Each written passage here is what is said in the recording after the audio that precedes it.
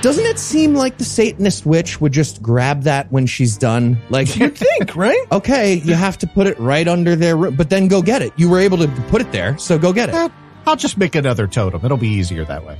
Keep it on a string, and you don't even have to crawl under there again. You hate it when people leave a dirty workspace, don't you? It's just, oh, it's the worst. Who closed? Who's the witch who closed last night? This is fucking terrible. Is, is this virgin blood? It's all over the workstation. This looks terrible. now there's fruit flies. God awful movie. movie.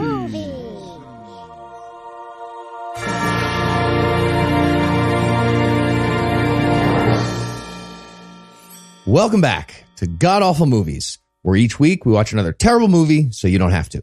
I'm your host, Heath Enwright, and I'm joined by the legendary Eli Bosnick. Eli, how's it going? Pop scare! Yep. Good one. And Pop scare podcast host. we also have veteran masochist and protege of Alan Dershowitz, Andrew Torrez is here. Andrew, welcome back. Yeah. Thanks, Heath. That's right. A- Alan Dershowitz, uh, seriously, 100% taught me everything I know about criminal law, and I am bringing that majestic knowledge to your ear holes here today. I don't think Andrew's exaggerating. I think he's you're Yeah. you really did learn a lot. Oh, yeah. No, that, that's, Dershowitz, that's, right? uh, that's absolutely now true. I want to watch Alan Dershowitz defend a doll. We're getting close. yeah. right. All right. Well, let's get right into it. Andrew, what are we going to be breaking down today?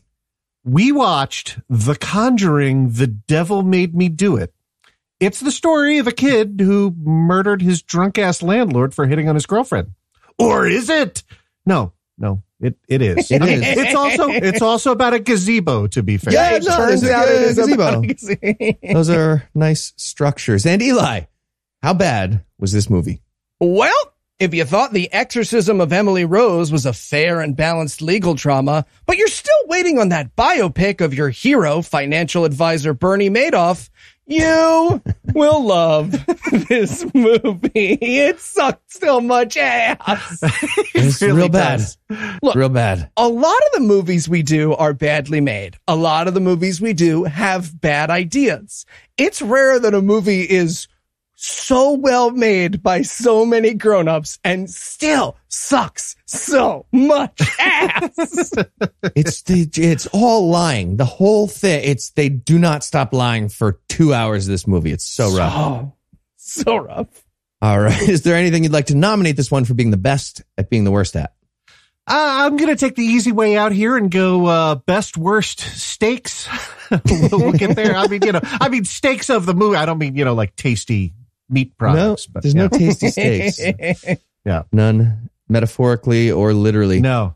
I'm going to go with best worst demonstration of having magic powers. Ooh, yes. I w- we're going to get to the details of it, but it's just absolute nonsense. One of the characters who is a liar is demonstrating to the police that she has magical powers. Oh. And the police come up with the dumbest demonstration test for her do. Yep. you can think of. Think of something dumb. This is dumber. Yeah. If, if you have just thought of flip a coin, you thought of something slightly better than what the cops come up with in this movie. Only slightly, slightly, slightly, like 17 percentage points. Here's how bad uh, this movie is. I thought your best worst was about the Satan witch who will have at various times super speed, indestructibility, the ability to go through walls, and ouchie, you hit me with a rock. Well, yeah, th- that's all ridiculous. But the Satan witch actually has those. This this demonstration by the liar is just over the top. the Satan witch is a great reason why you should always have a lawyer look over your contracts, people. Say, Satan Witch's powers are like Superman 3 levels of like, wait, they can do that? Yeah, Yep. it's totally bonkers. yeah, they are a perfect combination of they can do that and they can't do that. oh, and see, I, I took the easy one. I'm going to go with best worst protagonists. And yes, Ugh. I am aware that we have had movies where Kevin Sorbo was the protagonist. Look, the heroes of this movie all have real life corollaries, and they are, as Andrew mentioned, a guy who murdered his landlord and Ed and Lorraine Warren, two con men of the highest order. You would be hard pressed to find three people who suck more ass than the good guys in this movie. Yeah. I wouldn't call murdered a guy a corollary. That's the main Yeah. plot of Yeah. The real, real story of one of I. I have an argument to the contrary, but we'll get to it. We will get to it. All right. Well, I think it's time for a quick break, and then we'll be back to tell you all about The Conjuring. The Devil Made Me Do It.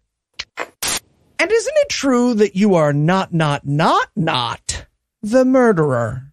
No, no, three, four. Yes. Gotcha. Damn, that's good. Yeah. Uh, hey, Heath. Hey, hey, Eli. Why, why are you guys in my office? Oh, we're practicing for when we're lawyers. Uh, wh- what? Uh, when are you going to be lawyers? Uh, as soon as there's a masterclass. What's masterclass? Come Oh, on. Seriously, Andrew? What? You guys made me adjudicate four subsections of this We have to contest. add a I- whole nother column won to the in? spreadsheet. This is ridiculous. Ah, Fine. With Masterclass, you can learn from the world's best minds, anytime, anywhere, and at your own pace. You can learn how to meditate from Jon Kabat-Zinn, improve your chess skills with Garry Kasparov, or learn how to cook from Gordon Ramsay. With over 100 classes from a range of world-class instructors, the thing you've always wanted to do is closer than you think. in- including being a lawyer? well, no, but No, you can learn not on there. anything you want. Uh, otherwise, like buying and selling real estate from Robert Reffkin. Or Sales and Persuasion from Daniel Pink. I actually recently watched that one, and even though I sold stuff for almost a decade, I learned a ton. I thought it was a great class. Wow. I mean, that does sound good, but uh, do, do you do you recommend that I try it out? I highly recommend you try it out. Get unlimited access to every masterclass. And as God Awful Movies listeners, you get 15% off an annual membership. Just go to masterclass.com slash awful. That's masterclass.com slash awful for 15% off masterclass. Wow, that sounds great. Now, uh, uh, all right. As long as you're in on this masterclass thing, did you guys try the not not guilty trick yet? Yeah, no, we just did that one. Oh, that's a good one. Right? Like 90% of lawyering. Daffy Duck gets him every time. Okay, everyone, welcome to the first writer's room meeting for The Conjuring 3. So, what are we all thinking? Oh, okay. I got a good one. So what if in the movie, Annabelle, Nope. She- Dave, Dave, Yep. Dave, I'm going to Yep. stop you right there. We are done with the doll. Uh, but, but people like the doll. Yeah. I know people like the doll, Mitch, but we have used the doll. We have done all possible scary things with the doll. So unless you guys are about to pitch me on Annabelle fucking opening a stand at the farmer's market with her gay lover in Des Moines, we are done with the doll. okay, farmers markets aren't actually good for the environment. They're Nobody kinda- goes to them because they're not- good for the environment, it's not Dave. They go so you can give money direct to farmers. just inefficient. Guy, guys, guys, you cannot have this farmers market fight at every meeting. All right. Uh, look, okay, we agree the doll is out. I, I, there have to be other spooky events we can talk about, right? Uh, did did we do the the Amityville house? Right, Ed and Lorraine were there. Yeah, but we did that. We did that one. Oh crap. Uh, okay, like um, brainstorming. What what else is uh scary? Oh, uh, like haunted graveyards. What about that? Murders. Murders are Ooh, scary. Ooh, ooh, that's got murder. Yeah. Um, I'm sure Ed and Lorraine were, were part of a, a murder or something, right? Uh, kinda. Uh, one time a guy who lived near them killed his landlord, and so they spent months making it about them in the press. Uh, well, uh, great. Uh, why, why don't we just pretend that that's something and we can make a movie about it? Yeah, that, that actually sounds pretty good. We could even add a villain instead of just, nope, he murdered a guy. Yeah. Murdered, murdered a guy. Exactly. Uh, yeah. question. Yes. Are we going to be distributing this movie through theaters and retailers or did you want to set up like a roadside stand for people to come get it like that? People like you are destroying the heart of this country, Dave. The heart Ah. and soul of the country. Okay. You're not even a vegan. and we're back. And we're going to start with an evil robot killing somebody in a wood chipper as the opening logo thing? Am I am I wrong? Did, you, you are not wrong. Can we also mention that the background noise soundtrack that's uh, auto-tuned cicadas playing the tuba? Yep. Yeah, yep. Ah, mention that. God. Very true. All right. Uh, you know what? This is a perfect setup to this movie. Now that I think of it, neither of those things are weird. Knowing what's going to happen now. terrible and makes no sense. Exactly. So we're going to start the movie by reminding you that the protagonists of this movie sat there using their pretend magic powers while a priest tortured a mentally ill eight year old. So yeah, that's the first thing we're going to start. Yeah. Right. There's a title card and it says July 18th, 1981. Ed and Lorraine Warren were called to document the exorcism of David Glatzel. So that's what we're watching. This little kid getting exorcised by a priest and Ed and Lorraine Warren, who are supposed to be the protagonists of this movie, are filming that for their liar documentary, right? Yeah, the, context. child torturers. Yeah, do- document is a weird word when you're not, you know, conducting research to be published in a scientific journal. Like when, when you're just a guy, it means doing nothing and Yep. filming it. Yeah. And the first thing they do when we actually see them on screen after the title card is take a break from their exorcism. Are you allowed to call a timeout with Satan? Is that how it works? I love that. They're like, yeah, all right. Uh, yeah, we should probably stop for a second. The priest actually says, my powers are too strong. This kid can't take my magic is too much for an extended period of time. So we'll, we'll take like a little water break, have some oranges, and then we'll get back to the exorcism.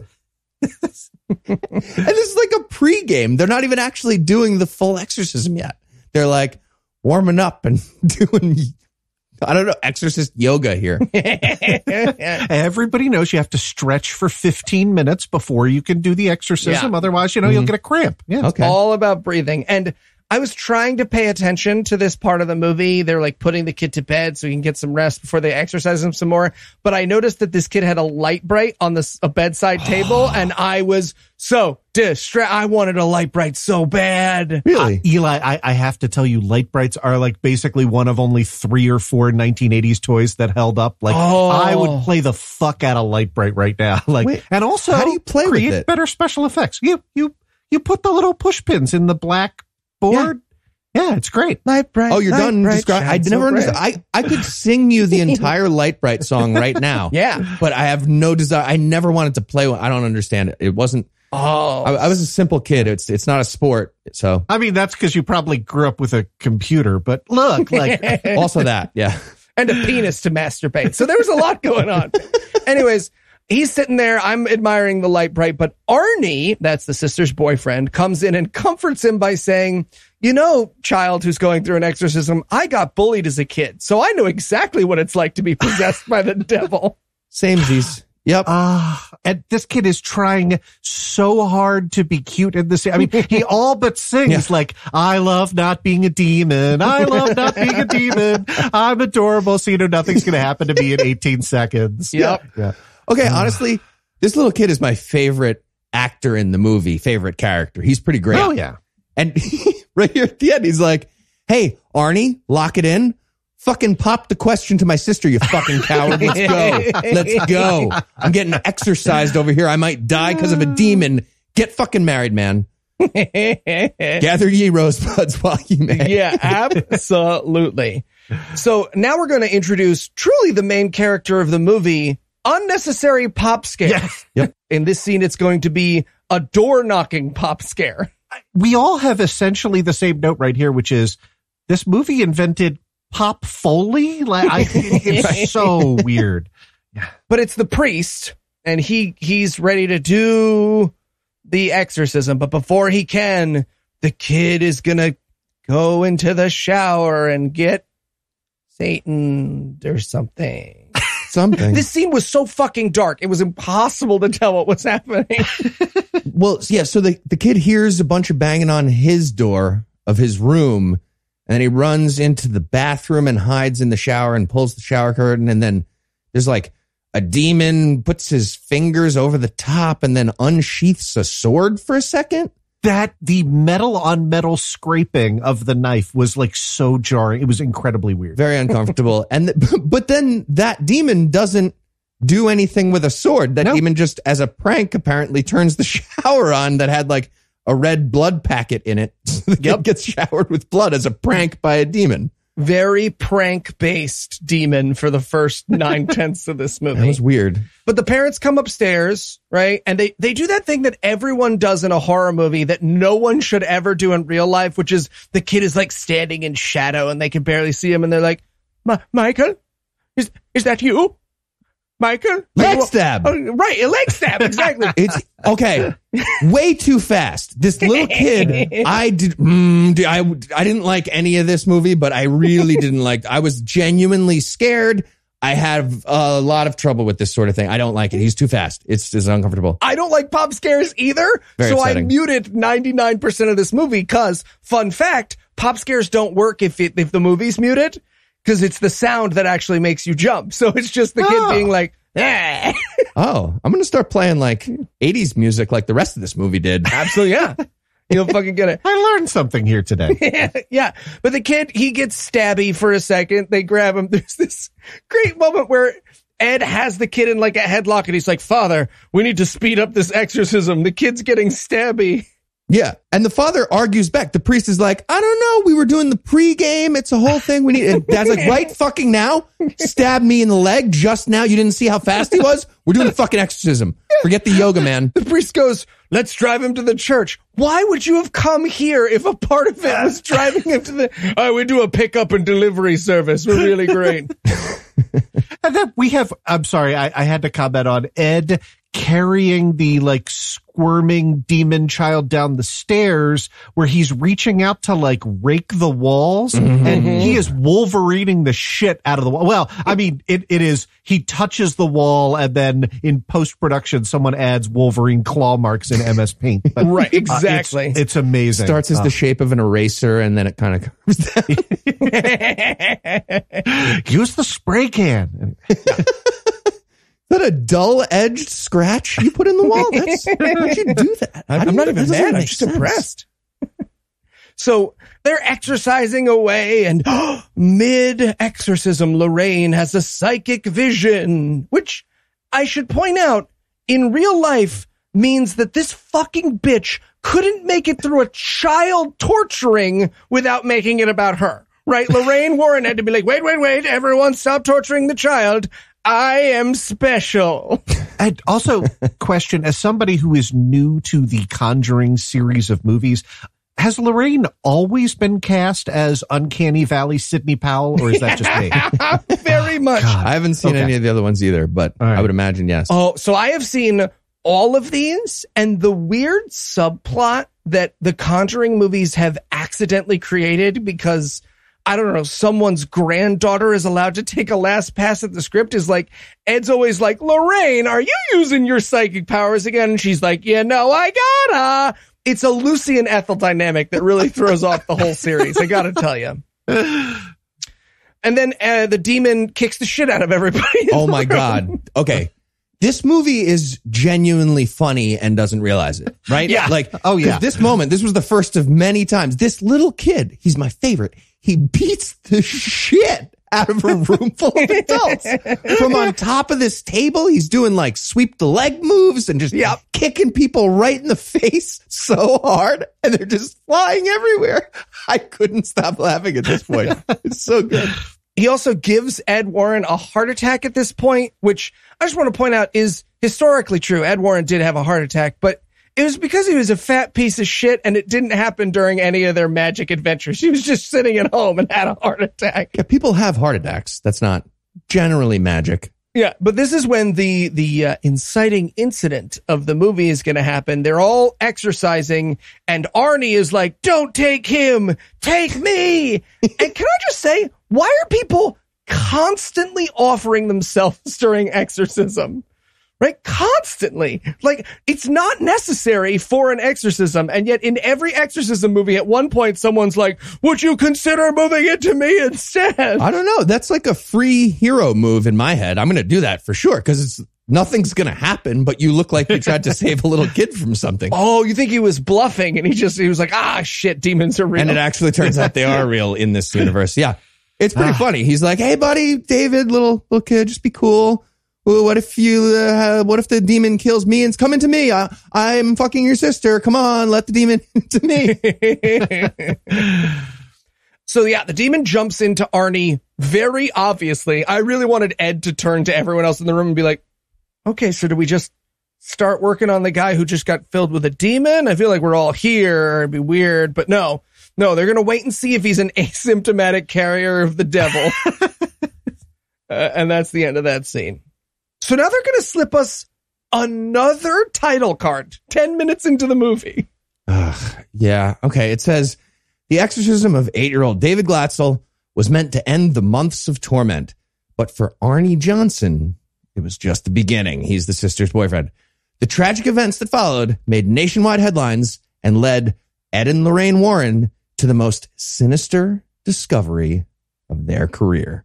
And um, I'm just curious how many sinister discoveries they have. They, have lied about a few, right? You don't rank rank, the, the sinister discoveries in your life? Yeah. How do you even rank? Whatever, it doesn't matter.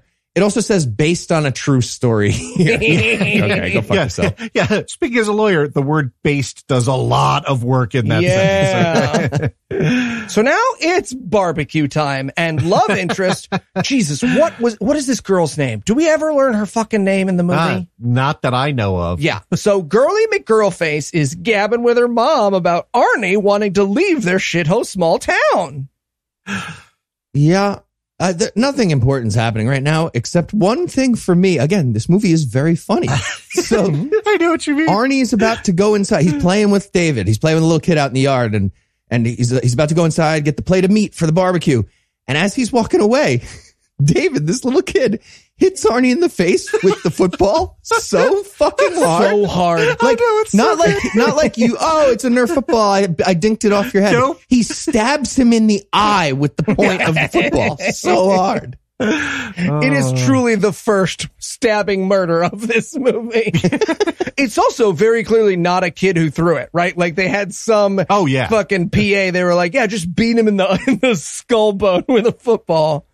But this is the first of the, and this is a thing with bad horror movies, right? If your horror movie is about nothing, you've got to spend a tremendous amount of time with someone being like, that's weird. I guess I'll figure out what that was to slow, creepy music. And in this case, it's going to be a cereal box. you are not. I think that's not for comedic. It's it is like the producers watched the first hour of Poltergeist and we're like, yeah, okay, but is there something less interesting than chairs moving? right? Oh my god! Yeah, they settled on a cereal With box. cereal. Oh. Yep. So he's staring at a box of cereal. He, we went inside to get the meat. He looks over to the side. He sees a cereal box moving and he's like, yeah, that's kind of weird. I better go solve the issue of the moving cereal box in this horror movie.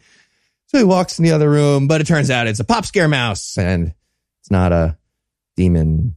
Or is it? yeah. And apparently he's one of those people who, when they see a mouse, just sort of follows it around the house. Like he's hoping to watch it fuck. Oh, okay. I, I'm sorry. I got. I got to interrupt. I get that both of you guys used to live in New York City, but like that's a fucking rat, guys. Like that is that is not a mouse. Okay. That's not, I feel like living in New York City, that helps us know whether. It's a rat if it can A carry or a mouse. full eight slice pizza down a set of Right, stairs. yes. Otherwise, it's a fucking mouse. Outside of New York City, that's a rat. Okay. Yeah.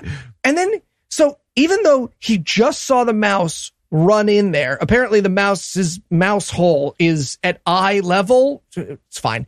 Even though he just saw the mouse run in there, he then presses his eyeball up to it like he's hoping for a mouse fucking peep show. Well, yeah, I was like, all right, man, don't, it's, you just saw somehow a rat mouse like fly into the air and go into the wall in a hole at your human eye level. Yes.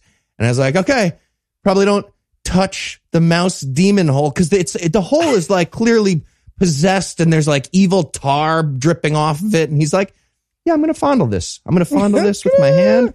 You know what? I'm going to put my eye right next to it now. like his dick was about to go into that hole before 100%, This, yeah. this no, no question. Yeah, yeah. That the eyeball literally breaks the fourth wall in this in this shot. Yeah. Yeah. So then there's another pop scare. It's the spooky kid from before, but he imagined it or something. Wait, it was a kid? I it's unclear if it's the witch or the kid.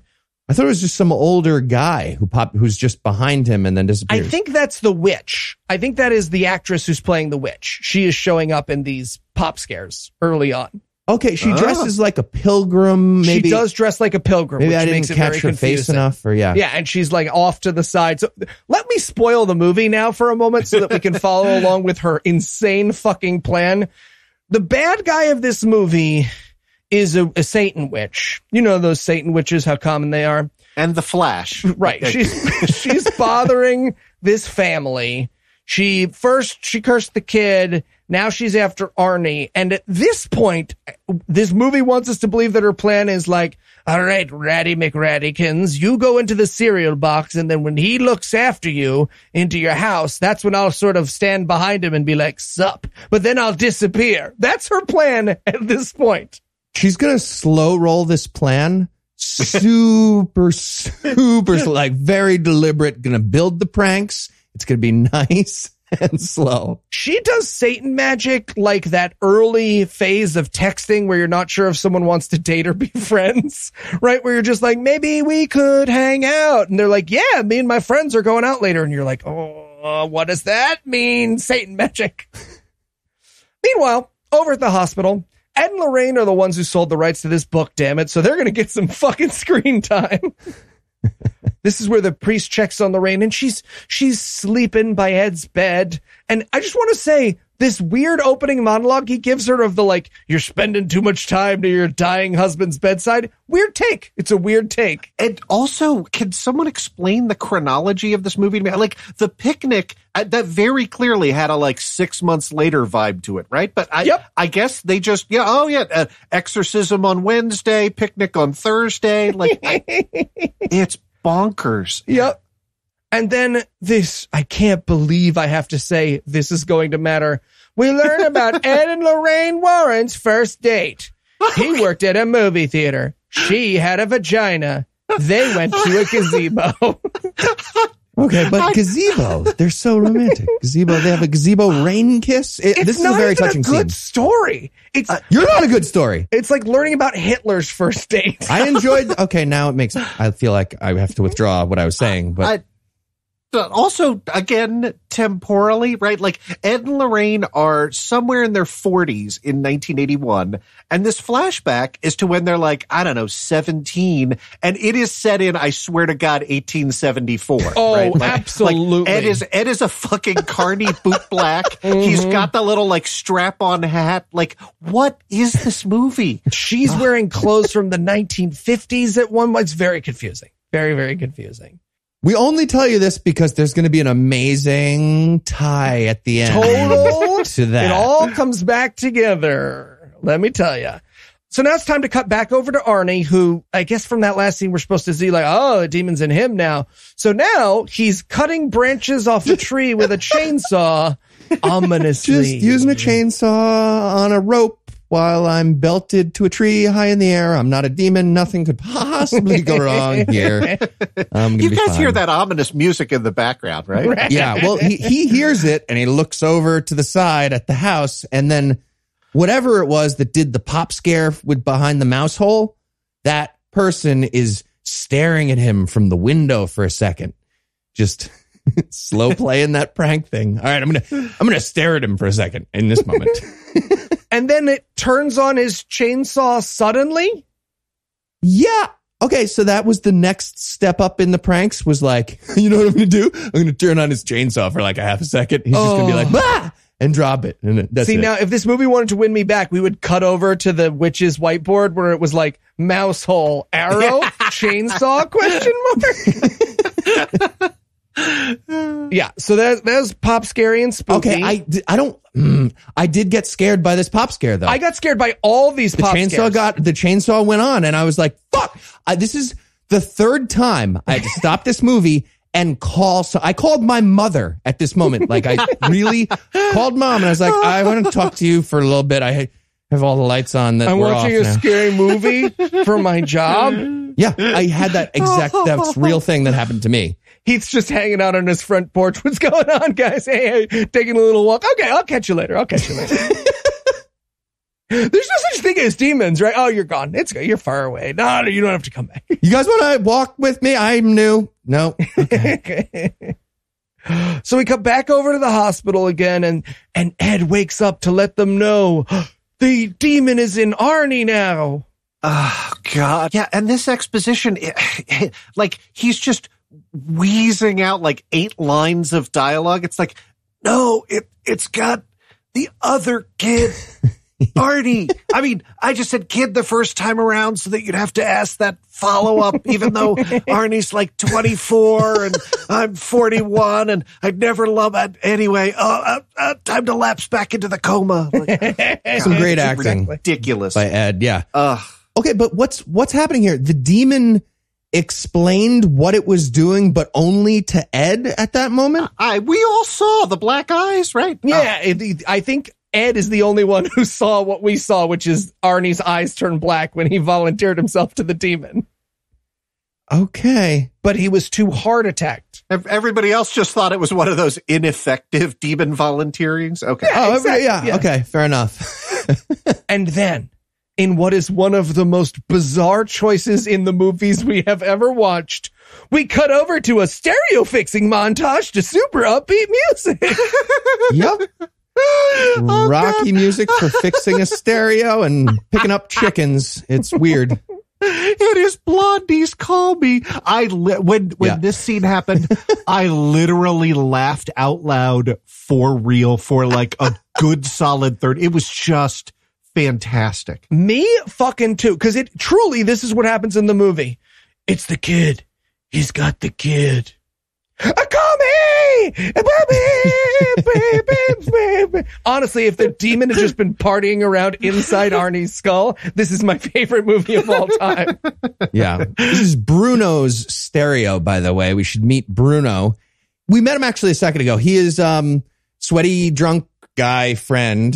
And as soon as we met him, I was like, oh, sweaty drunk guy has 20 minutes max before he dies. He is gonna die very soon. Yeah. His stereo is getting fixed by Arnie here while we listen to Call Me by Blondie. Yeah. He stumbles onto screen and is like, why don't we have a drink and we can play hold knives to our throats? I'll go first. Uh oh. this is also, this is just a thing if you're watching along. This is the cheapest pop scare of the movie. Arnie is kind of staring into the middle distance and the girlfriend's like, hey, but she does it super loud. So it's a pop. She's like, hey, what are you doing? And Arnie's like, hey, hey, hey, everybody bring it in. No pop scaring me right now. when you just walk up to me, do it at regular speed from the front. Don't, no pop scares, please. I might be a demon. So they they dance around a little bit. Bruno dances with his girlfriend, and Arnie dances with Bruno. Everyone's dancing around, having a good time. But then he gets overtaken by a demon, and he, there's a stabby, stab, stab. And can I just point out how absolutely fucking tasteless this is? Like, look, I did a little Wikipediaing, tried to read up about this murder case. From what I can tell, like the landlord hit on the girlfriend, so Arnold Arnie murdered him, and that's gross. But like, that's a real guy who died. It's weird to turn that into a spooky scene for your movie. Yeah. Right? It, it would be like if you made a horror movie where the guy who killed Harvey Milk gets overtaken by a demonic Twinkie. Like, no, this is a real murder. It is not a good subject for your weird demon special effects. But anyways, we cut to after the stabbing. For some reason, this movie's very shy about the actual stabbing. So we watch Arnie like wandering along the road and a cop just sort of pulls up and is like, Hey, man, you, you full of demons? You got, you got demon eyes? You have demon eyes there? And he's like, what? No, no, Re- regular eyes. I, eyes. I just have eyes. Look at, look at, they're normal. I, I, I guess it falls to me to point out that uh, in Bridgefield, Connecticut, or wherever this is shot in 1981, we're supposed to believe that uh, this is a black cop driving the patrol car all by himself. Yeah, that was the least realistic part in this movie about demons. Yeah. So he's like, Hey man, your eye's demony. And then he turns around and he's all covered in blood and he has that great, like, Oh, I, I think I might have stabbed a pie. It seems like the demon inside would just keep the human's eyes normal for now while he's trying to uh-huh. like get away. No? Ah. Or is the demon like trying to get caught, like trying to set up a test case, like Right. about demon? Well, we're gonna find out that there's gonna be a test case about demons. It doesn't go as well as I would like, honestly. Yeah. So later that night, the cops are on the scene solving the very obvious murder. But don't worry, the movie is sure there's another hour and 25 minutes of this oh movie left. and we get exposition radio playing, already calling it a murder, right? Like not guy stabbed, police are investigating possible murder. Nope, they definitely know. Wasn't wasn't self defense, wasn't any other kind of thing. Like uh, that that seems like irresponsible newscasting to me. Yeah, they got one of the future telling things from Minority Report doing their news telling at this point. Yeah. I, I'm going to allow that to characterizes the witness as a carjacker. So. so we we cut over to the prison where they are having Arnie read the Bible because if you can read the Bible, you don't have a demon in your butt. I, I, I love that everyone in this interrogation room agrees that demons always play by the rule. Right? Like, this is like he's prefer right. Like demons hate it when you read from Second Chronicles. Like, isn't isn't there the demon Heath somewhere who's like, hey, I could just not make his eyeballs go all black when we're murdering him. And, and, and when they start reading from Deuteronomy, I'll just tune it out like a normal person and instead of frothing at the mouth. Hey, this is great. Southeast. Ah. Very effective demon, just saying. It's an excellent tactic. but yeah, that means that the demon is gone. And there's this fucking fantastic moment where Arnie's like, okay, but if the demon isn't in me anymore, what do you guys do? And everyone in the movie is like, good question, because we, we don't even do stuff when the demon's in there. So, yeah, this is a mystery now? I guess it's a mystery now. Don't worry, the movie will forget about this plot. yeah, the too, movie so. will forget about this plot very, very quickly. So now we cut over to, I- I think, all of our favorite scenes, and and one of the great reasons why we had Mr. Torrez on today, the scene with the lawyer explaining how guilty he is. This lawyer just is so angry about having to do this meeting in the first place. And the lawyer's just like, you're all stupid. I'm a lawyer. We're going to, we're a demon possession defense is what you would like to do. You want me to do that. That my job as a lawyer will be demon possession, not guilty. That's what you're saying. Ah. yeah, I, I have never been more empathetic for any character on screen than this lawyer in this movie. Because look, like I'm not gonna lie, I I've had conversations with clients that have been the equivalent of I'm not going before the jury, Uh, and and again, this this lawyer says grand jury, which takes me out for a second, but whatever. This the script was written by an idiot. I'll I'll uh, whatever. it was just the, the royal grand. It was a jury Yeah. that happened to be grand in the general sense. Uh, but look, like, I'm not going before the jury and arguing he was possessed by demons. Good sentence to say, lawyer, except that sentence number two, the next words out of her mouth were, because that's never been done before. Look, like, the problem is not lack of testability here on this. like, ah, Show me the stare decisis of this thing, and then maybe we'll. that's less nonsense than what this movie would have. Yep. Okay. But Ed and Lorraine are like, yes, we want you to do that as an attorney. You know what? Come over for dinner and we'll show you what we're talking about. and I was like, show this attorney what? What the fuck are you going to show her? What does that even mean? Okay. So for for clarity, the claim that this movie is making, Ed and Lorraine Warren literally turned to their house into a look at our spooky shit museum. Yeah. Okay. So the claim that this movie is making is that when they were about to have the lawyer make this claim, they were like, no, no, no, come see our Raggedy Ann doll, which is what Annabelle is based on, and our a collection of broken plates from the Amityville house, which we charge people $25 to look at. And you'll definitely want to lose your fucking license as a lawyer. Can we go to this house and take a tour at Eli We can't, unfortunately. What? They um they are dead and there's no Can we go to the house anyway? I mean, you can't stop us from going to your house. If Andrew's taught us anything, Uh, we can go to any house we want until people say to leave. don't take legal advice from god awful movies, okay? Live show at the Warren's That's what I'm talking about. Ooh, I like it. All right. So she's like, whatever, do your worst. And then we cut over to court because they sure did convince her with their haunted doll. They doll. doodly do over the convincing. Yeah, Eh, oh, exactly. I was like, what the fuck would that be? What would that look like? And the movie was like, I don't fucking know. Next scene. and they just skip it entirely. It's always best if that's in your imagination Yeah. as to what was so persuasive. Right. So now we're in court and this guy, his attorney agreed to this. They plead demon. That happens. and the the judge is my favorite fucking part. The judge hears this happen. He's like, "How do you plead?" Demon, not guilty. And judge is like, "Oh, you're serious?" There's such a long pause while he's just like, "What the fuck are you talking? What is happening in my life?" And then he's like, "Oh, that's really what you're saying. You're disbarred. You, the attorney, you're clearly disbarred." the judge makes a face that I have seen people make several times in my life where they go, Oh, this is a whole thing now. That's what the judge says with his eyes. This is a whole thing now. And he's he is mouthing the words to the lawyer of like, you can just plead not guilty, you know, save the demon stuff for later. Yeah, but they cut to outside and dang it, because they pled not guilty, the prosecutor is going to ask for the death penalty. Uh, uh, God, and so I'm sorry, I'm fixated on the stupid law in the stupid demon movie, but like the real Arnie Johnson was tried for first degree manslaughter because you know that's what it was. I mean, Yup. do these people think you get the death penalty because you committed a crime and your lawyer is stupid? Wait, wait, wait, wait! Don't answer that. I was going to say, All right, withdrawn. especially with Sidney Powell from. Yeah, no, withdrawn. Okay. Yeah.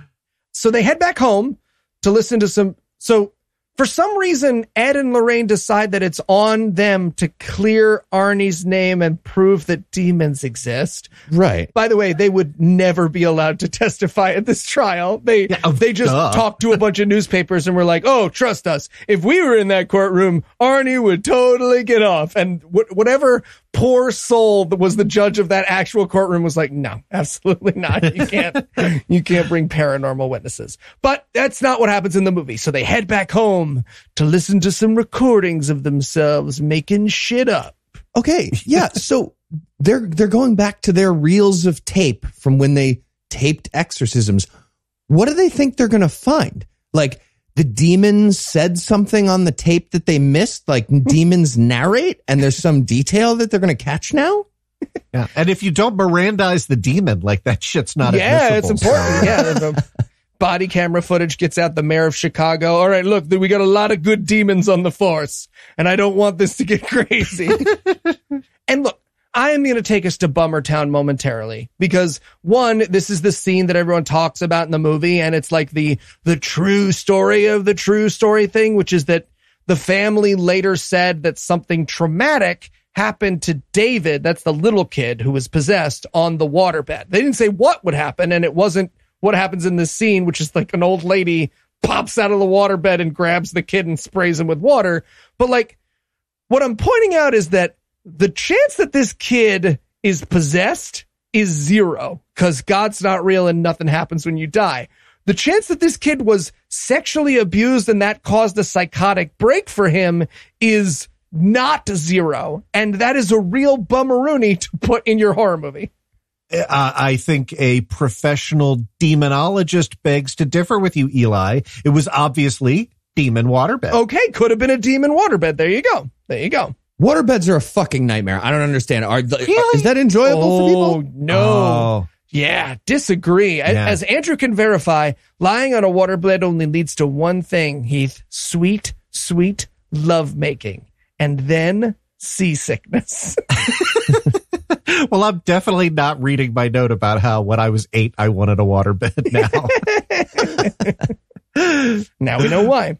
So yeah, b- back in the present, we, so that we watch the kid get attacked by a demon in the waterbed. Back in the present, girlfriend's like, that's stupid. Why would being on a waterbed end in possession? And don't worry, they have an even dumber answer, which is that underneath the waterbed, underneath the floorboards, there's something spooky. No, there's water damage because the waterbed popped. That's what there is. Yeah. But the movie is like, that's not, that's not water damage.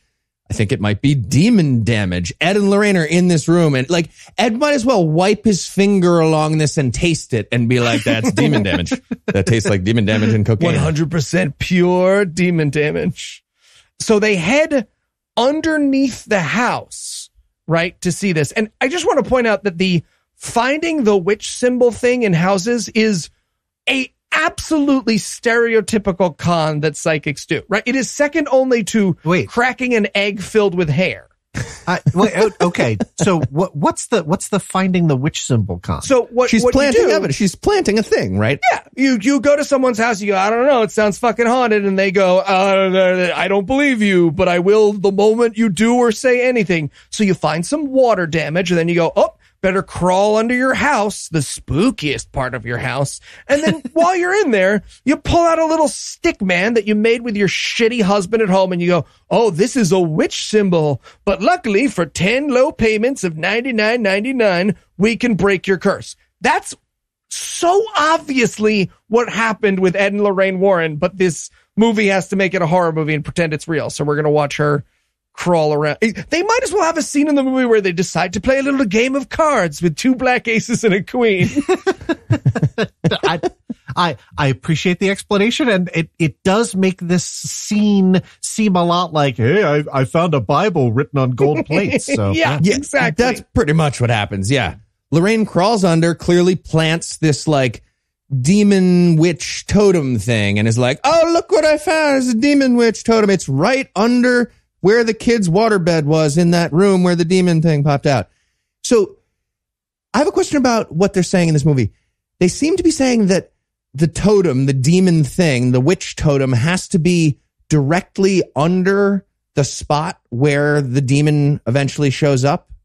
Like de- demons can only go up, like straight up. Up is the only direction has of to demons. be under a bed, which means again, there's an unshown scene where witch the lady is walking around the house going, "Okay, I'm at 45 degrees west, and uh, okay, so the wall is here, like a fucking water guy trying to find where your pipes and studs are." It's like, "Okay, cool, I've got to get under." She puts it in the wrong place, and his foot gets infected. Fuck, all right, I'll come back later in the demon week. pops Shit. up in a toilet full of shit. Okay, who? Come on, this is the, the one spot. Really, really. the one other thing I have to point out is that as she's crawling through the crawl space, the witch totem, before she discovers it, it's like covered in a little bit of cloth, and they have these very obviously domesticated rats. They they're all they have these beautiful shiny coats and morbid obesity, and they're like kind of near it, and they're like, oh, that's pretty spooky, huh?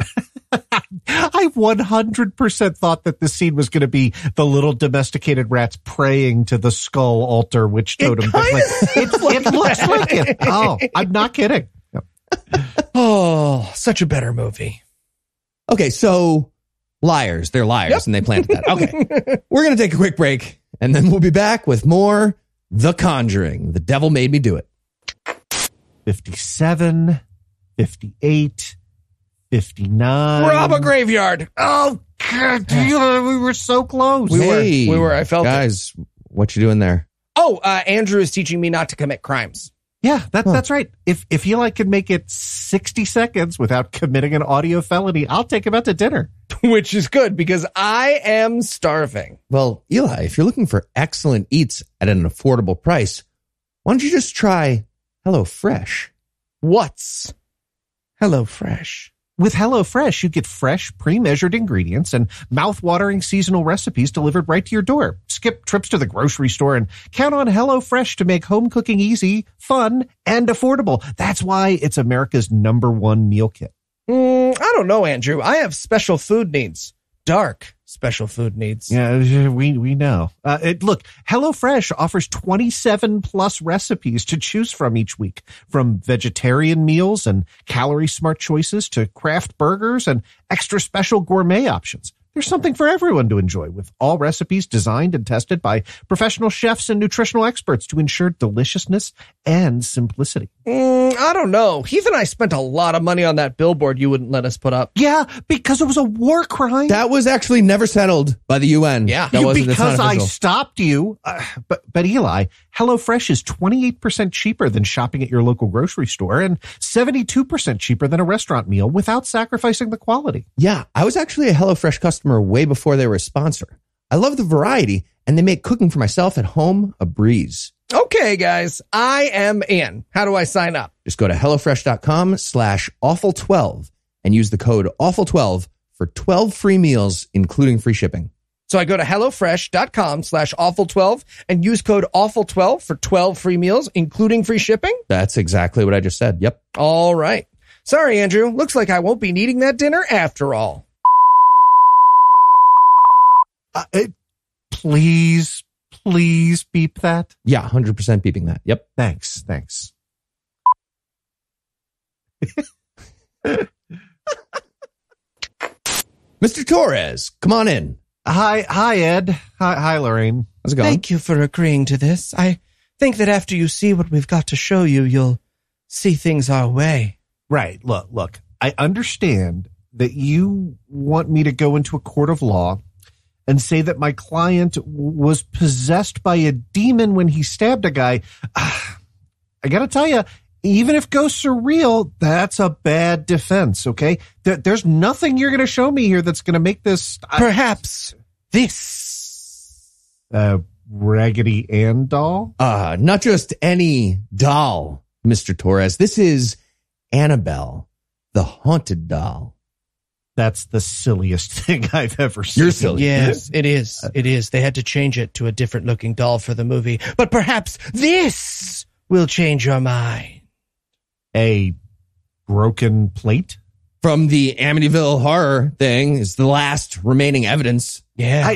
Wasn't that whole thing a, a very obvious real estate scam that uh, your partner confessed to being a scam super publicly? Ah, I don't remember that. no. It's not what you said. Yeah, woo. Se- seriously? My God, Mr. Torrez, it's a real spirit. I, I, that is very clearly your wife wearing a sheet with the eyes cut out a la No. Charlie Very Brown real Christmas. spirit. You can hear it. You hear Please, that? please, please stop. can clearly hear it. thing we want you to do. Careful, Mr. Torrez. You better give it what it wants, or you could be haunted forever. Take this seriously. Uh, okay, I, I, I'm I'm gonna go. Don't forget to visit the gift shop on the way out. Your your home has a gift shop. Of course it does. yeah. to the left. and we're back. And now Ed and Lorraine are explaining the magic behind the witch totem that Lorraine very obviously planted under the house to make their stupid documentary more exciting. Oh, yeah. Someone explains that this is used by Satanists in their rituals, and no. Also, for the record, witches don't generally have totems. I mean, look, look, look. some do because Wicca is 99% white girls with undercuts appropriating other cultures, and one of the cultures that they like to appropriate is First Nation peoples who do use totems, but they use them in religious practice and not for magic spells in any sense that we would understand that sense of the word. So it's, my point is, is that this whole movie centers around a witch's totem, which is like calling something a Muslim communion wafer. It's just not a thing. I, I I was also not clear on the relationship between witches and demons. This seemed like kind of a strange, you know. Yeah. they're No, not the same thing. Yeah, They're yeah. not the same thing. No. Right. They interchangeably use demon and witch and Satan worshiper here is really very different things. It's like being like, oh man, tell me about it. There's axe murderers, there's serial rapists, there's yoga instructors. I mean, it's really dangerous out there. Right. So they're saying though that this witch totem got placed under the house by a Satanist witch to curse this kid. Yeah. David was cursed. Mm-hmm. So that means the exorcism part, it just like makes the demon pick another chair. So like you exercise and the demon's like, I go in this guy now. All right. I'm going to, I'm inside the guy. Oh no, uh, that guy got yelled at by the, the guy who's going to marry the sister. All right. I'm in him now. Like the I'm in him just, now. they move around. Nothing really gets accomplished. Well, and as we'll learn later in the movie, and it's worth spoiling now, as we'll learn later in the movie, this demon has a three variant requirement the child, the lover, and the man of God. Like, not only will this movie directly fail to explain why the fuck anyone would want to do this later, I mean, they will ask and the movie will be like, shh, Conjuring 3. Nothing with a 3 at the end is good. Shh. Right. So that means the exorcism helped actually. The demon was like, oh no, this is perfect. I have to do a three thing. And now I was stuck in this fucking kid. Okay. No, that makes it a lot easier. Thank you. Waiting for a lover to come along. this has really worked out. Right. But this is where Ed and Lorraine, they, okay. Ed and Lorraine have a helper guy who, like from Rolling Stone magazine, he's like a journalist and he's just a helper. He just, he's an aide. They have a witch hunting aide. Their intern, he's doing coffee runs. Yeah, right. They have they have an intern and they're like, "Hey, intern, here's what you do. Send out these pictures that we made of the totem to everyone who knows the Glatzel family and see if we can, you know, find something out that way." So like what what would that letter even say? like the le- they're going to write letters to everybody that knows the Glatzels. It's like, dear sir or madam, um, do you do you know anyone who carries around evil totems and you've just been ignoring it completely? Maybe you could help us with something. We'd like you to start caring. and and it's 1981, so the letter is going to have to right. It's not like you can laser print the photo and send it out, right? it's going to describe. Okay, so it kind of looks like a squirrel skull, but pictured facing upwards, and there's these little spikes on it, and oh, man. ah, the dot matrix is stuck. We have to. Uh, it's jammed. I got the. Uh, no, you're not lining it up right. You can see you're not lining up the spikes. Oh, god damn it. This is also where Ed is pretty sure that this is the disciples of the Ram cult. And he goes, You remember that, don't you? And I was like, No, because you made them up for this fucking movie, dude. I'm thinking, hey man, Temple of Doom will not come out for another three years, so you know. but luckily, they remember that there was a priest who totally knew all about that very real cult and he retired, but they could go ask him about it. And when they say he retired, I wrote in my notes, if they do not find him chopping woods in a cabin in the forest, I'm going to be so fucking mad. so close. Good Yeah. news. Yeah. He is feeding his chickens in a life of retirement. Oh, and he looks like he has been decomposing for about 125 years. Right? Like He it- does. uh, oh, So yeah, Ed and Lorraine drive out to this guy's house and they're like, hello, we're random people who drove to your house and want to ask you questions. And he's like, I have chicken shit on my hands. yeah, good. best line of the movie. So you won't shake hands with them. Great response to meeting Ed and Lorraine Oh, Warren. Let me I'm, tell you. I'm using that from now on for everything. Just, Yeah. hello, I have chicken shit on my hands. Heath, why haven't you texted me back? chicken shit hands. Okay, but this did bring up a very spiritual question for me. Do you think con men, when they meet like this, right? Because the priest is the priest that this is based on is obviously a con man who talked about Satan shit. Ed and Lorraine Warren, con people. Do you think when con men meet up, they get to be like, "Hey, dude, we're working on this publicity shit. You want to help us out with this?" Or does everyone have to pretend the whole time in case someone's a cop? oh, they have to pretend. oh yeah. This priest, this is a guy who helped fuel the satanic panic, according to their own story. That that's who they're referencing here. One of those guys. Yeah. It's a dirty, rotten scoundrels situation. I, I get, I get it. So he's like, yes, I have heard of your Satanists. And this is where they ask why the fuck anyone would do this. And the answer is actually Satanists love chaos. His nectar is despair. Okay. this this whole scene is great though. First, first, this guy, chicken shit hands guy, is like, forget you ever saw this. They show him the picture of the totem. He's like, forget you ever saw this. And I was like, all right. If they're just like, sounds good, credits. I would have been so Yeah. happy. If they just- All right. All right. You know, yeah, let's end the movie. Best Gam episode ever. So good. but no, he looks at it and he's like, oh, well, this is very sophisticated. I, a sophisticated squirrel skull thingy. I, Get the fuck out of here. So weird. Yeah. I love the idea of a really sloppy, low level witch. Yeah. like an unsophisticated totem. Yeah, just the me of witches, just like can't get the squirrel head to fit on the jawbone. the demon kind of half enters the kid and then exits again. Huh?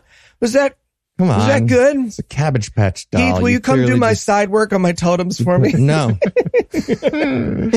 Measure the totem twice. Cut, cut the totem once.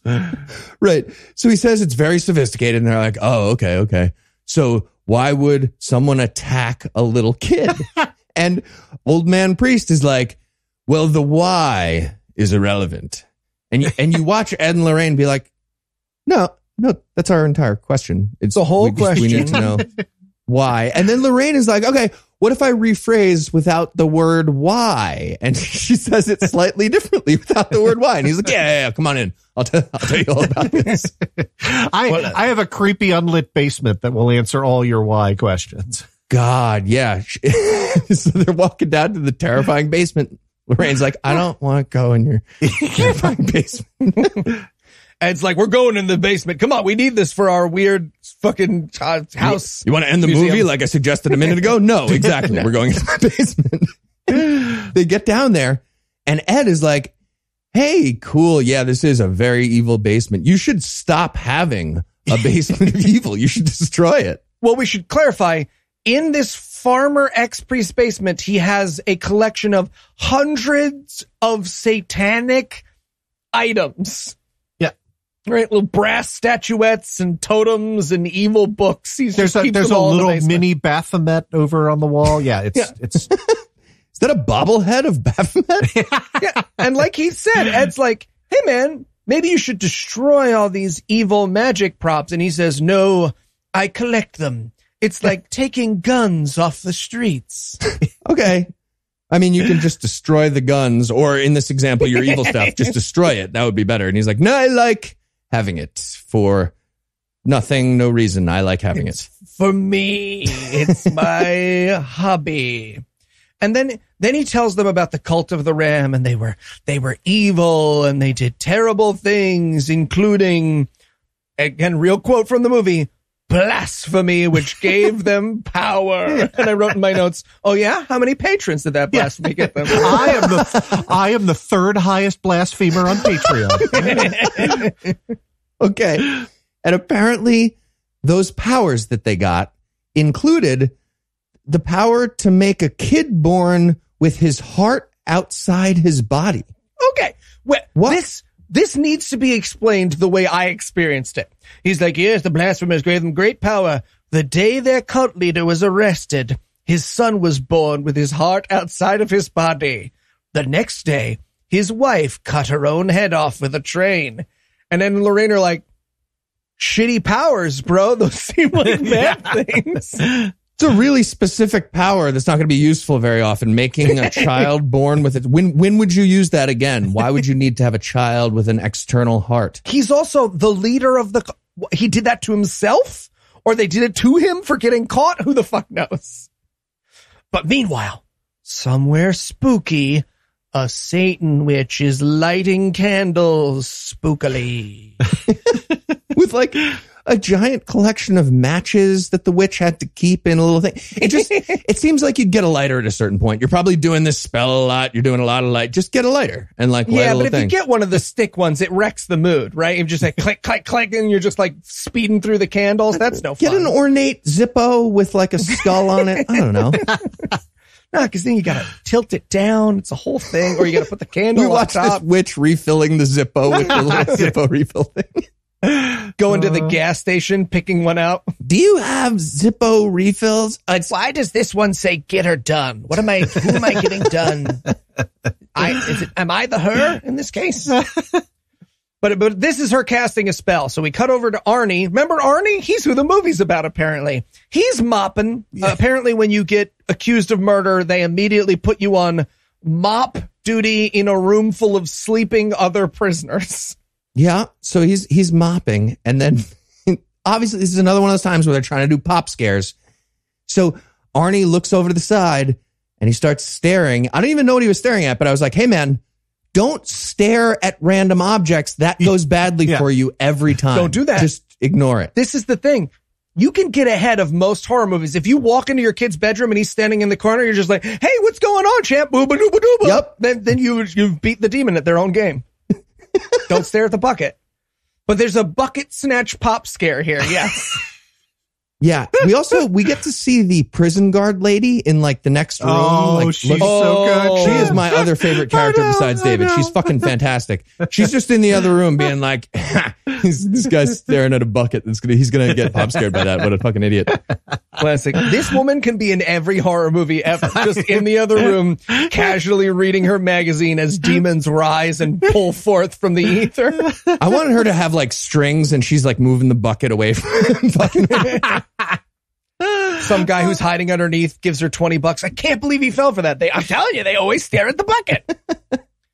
but but alongside prison guard lady don't give a shit is the fantastic random sallow skinned person now solemnly intoning the blondie lyrics it's it is i defy anyone to watch this scene and not giggle hysterically like mm-hmm. it is just Okay, even Arnie can't stop giggling almost. He's like, hey, what are you, you, you reciting the lyrics to Blondie? Call me as a pop scare man? It kinda, you're fucking up your pop scare. He ah. starts to explain it. He's almost explains it. He's Yeah. like, call me anytime. It was the song you stabbed the guy to. Yeah. Obviously, I should have picked something different. Oh, Can I start over? Oh my god! Oh god! If they had picked "It's Raining Men" here, could you imagine how much you get this guy going? Humidity is rising. the barometer is getting low. Oh my god! It would be so great. But yeah, that that apparently spooks out Arnie, and then the Satanist. We get this cut of the Satan witch walking away from her cup, like, "Good job, I did good. good day of witching." And we use so little of "Call Me" that uh, we don't even have to pay royalties to Debbie Harry. Doubly evil. Right. So meanwhile, back at Ed and Lorraine's place, they're staring at the witch totem in the hopes that it will look less silly, and it won't. By the way, it looks Nope. it looks like someone's first attempt to build a bear. Yeah. But this is where their intern comes back in and lets them know that there's the cops in Danvers, Massachusetts. Remember how they sent out all the photos to everyone in the world ever? a cop in Danvers, Massachusetts has seen a totem just like this where a girl was stabbed 22 times, which is the same as Bruce, who also got stabbed 22 times. Yep. So they go up to Danvers, Massachusetts to talk to this cop. And the cop explains that he's got a case where this might be involved. And he explains that, same as theirs, there's a, you know, a witch totem that they found at the girl's house who had been stabbed. Now, doesn't it seem like the Satanist witch would just grab that when she's done? Like, You'd think, right? okay, you have to put it right under their room, but then go get it. You were able to put it there, so go get it. I'll just make another totem. It'll be easier that way. Keep it on a string and you don't even have to crawl under there again. You hate it when people leave a dirty workspace, don't you? It's just, oh, it's the worst. Who closed? Who's the witch who closed last night? this is fucking terrible. Is, is this virgin blood? It's all over the workstation. This looks terrible. now there's fruit flies. Didn't do any of your baby roll ups. so they go to the cop and they're like, maybe we can help each other. And the cop's like, no, you guys are frauds. And they're No, like, I'm I'm a police officer. You help me with my thing. No. and Lorraine says, okay, if you help us, we'll help you find the missing girl, the one who did the 22 stabbing. I feel like you didn't hear me. I'm a police officer. No, you have to just help me with my thing. I thought that was well, clear. and this is this movie's idea of fair and balanced, right? Like they're they're introducing the cop as the skeptic, and the skeptic position is, well, you know, obviously Satanists are real and they're everywhere, and they conduct secret rituals, and they're scary and evil, and they must be stopped at all costs. They're not magic, you rubes. Fair and balanced. But also, is the implication of this scene that if the cop said, no, I won't let you see the file, Lorraine wouldn't find the missing girl? Yes. Yeah. Yep. Yeah. Quid quid pro quo. Yeah. No deal, no psychic powers. And now it is time. Now it is time for the test of Lorraine's psychic ability. The cop comes over and he says, one of these knives was used in the murder. The other two I just grabbed from the evidence Three locker." knives. He has three. knives. She has a one in three chance of being magical now. That's what's been ah. set up by this detective, this police detective. My friends, I spent so much time learning to palm cards, switch cards, and turn over cards, and switch them and swap them. this fucking guy is like, all right, fine. Flip this coin. If it turns out heads ever, you're a psychic. All right, tell you what, I'm thinking of a tenor, and you prove your magic by naming a tenor. Pavarotti. Oh. Damn it. Okay, that's No. impressive. That's impressive. I can't name the other two either. It's like the I don't and know. the blind guy. It's guy. Enrico Palazzo. yeah. The blind guy? You were thinking second one was blind guy? Yeah, but I was thinking blind guy. Andrea Bocelli. No, no. Now, okay, that's four. Now I get. But come on, don't be a dick. They drive a little bit, and as a further proof of her power, she goes, You missed a turn. The body's back there. And I just wrote my notes, okay, nobody likes a backseat driver when you're looking for a corpse, okay, Lorraine? I was just really hoping that she would get the knife wrong and they just leave and then credits. It's like, nope. Oh, you're not magic and you can't be involved in this case. You're dumb. Go away. I will note that this is the fourth time that Heath has suggested this movie would be greatly improved by just ending early, and I agree. So many I- spots. Agreed. hundred times. Very much agree. God, I love. So yeah, they're driving now to go out in the woods to check out the murder scene that the cop had, and the cop in the car, he's like, "Okay, you know what? Fuck, I should have had you guess the knife more times in a row. I should have done it. Yeah. It should have been at least like several tests of one in three chance. Fuck. I could have." Basically, you picked out the Folgers coffee, and I feel like that was really easy. I feel like an idiot.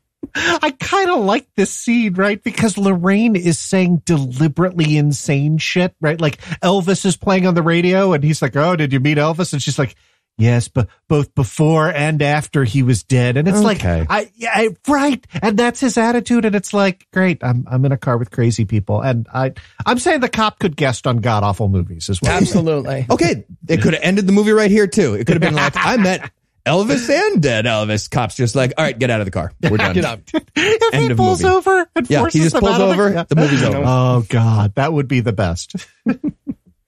So back with Ed and Lorraine, they get to the forest and she's using her magic bracelet to find the dead kid. Oh, fuck me. Yeah, she's swinging it like a dowsing pendulum so that, you know, Yeah. lends a lot of support to Eli's thesis. She has this amazing moment where she goes, something terrible happened here. And the detective's like, yeah, we just said we found a body here. Murder. Yep. Yeah. There was a murder You want to guess one and three? I'm thinking of a number. I'm thinking of a number. Between one and five. All right. This is the real test. Let's get serious. Yeah. So Lorraine is like, all right, I'm going to step into Dark World for a second and do my thing. See if, I don't know, they left a business card in Dark World. Maybe I'll find it. and she goes into Dark World. She has a little doodly do. And apparently she can see into the past, right? Because Yep. she sees the girl who gets murdered ha- hanging out with her friend in the woods. Yeah. Why would she just now be using Yeah. seeing into the past for the first time? I, that, I feel like that would be a very useful thing in, you know, helping to solve crimes. But yeah, Go home and use that on your thing in Connecticut. You're you have a superpower. You know that thing that you've been trying to figure out where it's from? The Use past. your superpowers on it. Most things happened in the past. And if you're thinking like, oh, Eli, it doesn't work like that. No, later in the movie, it will work exactly like that. Thank you. Just use your power. Force push. Do it right away. Basic stuff. Oh. But yeah, she witnesses the murder in her dark world underneath thing and and she she like gets lost in the character like fucking Daniel Day-Lewis and almost throws herself off a cliff. yeah. She starts miming like the stabbing over and over. And finally, Ed goes over and he's like, honey, honey, honey, stop. Can you stop it? You're A little too much. You look ridiculous outside of Dark World where we are. kind of embarrassing me in front of the detective. you, you can almost hear him miming under his breath, like, look, we're moving from the, the fish is on the hook territory to you look like a goddamn crazy person. Yep. So she she runs away. He tries to stop her. She runs away, and she almost falls off a cliff, and stops just barely. But then a demon grabs her leg and pulls her even further, and she gets almost all the way over the ledge. But she gets caught and saved by Ed here. I, I, oh. I love this so much. Like again, we we cannot overemphasize how unimpressive these demons are, right? Like, so we have a thing that can almost drag 140 pounds of Sidney Powell off a cliff, but not not if there's a middle aged guy who's just had a heart attack there to pull you back up. Right? No. Like, how do you get that job? So there was a demon just hanging out off the side of that ledge in case a magical Christian lady showed up and ran to that spot. yeah, but make sure that this is a svelte one, like 120 pounds tops. That's all I can pull off the cliff. I start to fall off the cliff. The demon's just like, I'm not doing it. I'm not doing. I don't. I don't want to say why. I'm going to get canceled. Oh, he fell by himself. Okay. Yeah, that was a freebie. So he drags her back up onto the thing, and the cop guy, God, I love cop guy. He just wanders over and he's like, "Okay, well, that was a fun little play you guys did. not good, not helpful." And they're like, "Check the water. She's down there." And he's like, "Oh, okay." Meanwhile, they agree to go check the water, and back at the ambulance, I guess someone called an ambulance. Ed is getting a blood thinner, so no Viagra that night for him. Yeah. So yeah, Ed has a heart problem and the EMT is like, Hey man, were you sprinting through the woods with your serious heart condition and then dragging somebody off the side of a ledge? And he's like, yeah. Yeah. And she's like, okay, don't do that now. On. Cool. And then detective walks over and he's like, oh my God, turns out you were right. We found a body down there in the water. And uh, that means you're both cops now and you get to see all our case file stuff. Yep. Ah, classic X Files skepticism here, right? Like the, hey, the cops, like, yeah, you know, so the the one in three thing, I was still sort of on the fence, but now you said a body might have been thrown into water when a murder was committed near a cliff. Okay, I'm I'm sold. Yeah, God. He also, to try and double down on this, he goes, You know, we looked twice and didn't find anything in that water. And I wrote in my notes, Oh, maybe try harder. Maybe really give it your all when you're looking for dead bodies in bodies of water. now that a psychic lady. So Arnie's sitting in his prison cell, right? We cut over to Arnie sitting in his prison cell, and the preacher who talked to Ed and Lorraine earlier, he sneaks him holy water in a glass bottle. he might as well give him a Swiss Army knife for the tweezers, folks. I wanted it to be a hollowed out Bible, and he opens it up, and it's just a smaller Bible inside. He's like, "Oh, okay, you can just give me either one of these by themselves. That's fine. So while that's happening, Ed is like, "Hey, Lorraine, you know how you have superpowers where if you touch a thing or you're near a thing, you can doodly do into the dark world and then find out what's going on?" And she's like, "Yeah." And he's like, "You want to touch a dead girl?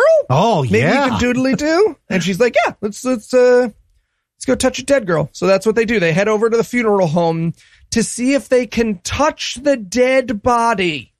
Yeah. So they get to the funeral home, which is closed because it's a fucking funeral home, and Ed breaks in and they just start sneaking around looking for a dead body to touch. And can I just say, I kind of want funeral homes to have a night guy, right? I just want grandma to be slightly better guarded so that the Warrens can't come in and touch him. they need Ben Dover from Fletch too. Yeah, exactly. But they do eventually find the body. This is, by the way, where I muted the movie. So this movie's pop scares had no power over me for the rest of the uh, film. Little pro tip there for you there. And so Lorraine finds the drowned girl and she squeezes her. And it's a really long time before she has a psychic vision. So Ed has this great moment where he's like, Did you see anything? Or are you just just squeezing a dead girl? but yes, she does eventually have a vision of the witch thing, and we can see into the satanic cave section of the mortuary. she walks through, and she, she this is her like going into the dark world and seeing the witch's coven.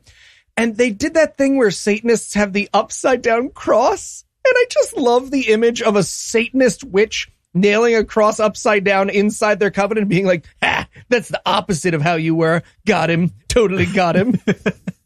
Yeah. And is this where the Satanist witch and Lorraine meet each other in Doodly Doo Land? yes, yes. Okay, so that's how it works. Lorraine's in Dark World Doodly Doo Land because she's touching the corpse of the girl in Massachusetts. But that same Doodly Doo Dark World Land is connected. It's the same one. Everybody uses it. It's just there's one world for, for that. So Yep. the Satanist witch, who's connected to Arnie and messing with Arnie, bumps into her awkwardly in Doodly Doo World. Is like, oh, hey, are you trying to foil me magically? Oh, and, and again, Lorraine doesn't know that she can see her. So there's this amazingly funny, like, oh, um, hey, lovely coven you've got here. Is that Pier One, the table full of bones? but she lets go. She, she like releases herself from the dark world, but not before the witch can send a dead body.